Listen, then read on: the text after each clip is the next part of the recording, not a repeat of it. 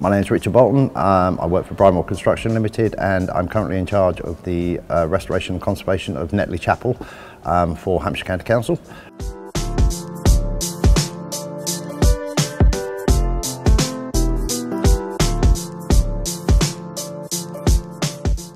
We are currently doing a 2.3 million pound refurb which involves the upgrade of the mechanical and electrical systems, a full refurbishment of the ceiling, a full refurbishment of the windows and a lot of um, external works just to bring it up to um, a standard for the public to use and to bring this uh, space back into public use.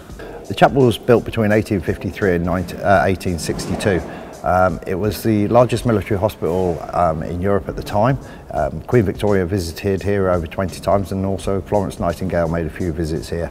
Uh, this was built after the Crimean War and it was used as a training hospital um, right up through the Second World War.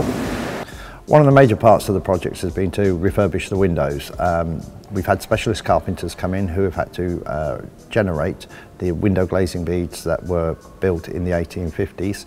Um, and we've also had over £60,000 worth of handmade etched glass put in, which all has to be specially dyed. Um, we've, all the etched glass has been replaced and we've now got fully functional windows once again. One of the largest expenses on site has been the mechanical and electrical installation that we've had to do. 95% um, of this won't be seen by the general public as we've managed to hide it within the floor void. This now contains over half a million pounds worth of mechanical and electrical installation, which means we'll have a hearing induction loops, we'll have data cables, we'll have Wi-Fi, you'll have heating. The ceiling above us um, has been repainted. It's been repainted um, as to an, an artistic impression of what it was originally. Um, directly above us we have large oak beams, which one of the stories is they were taken off a ship at one time.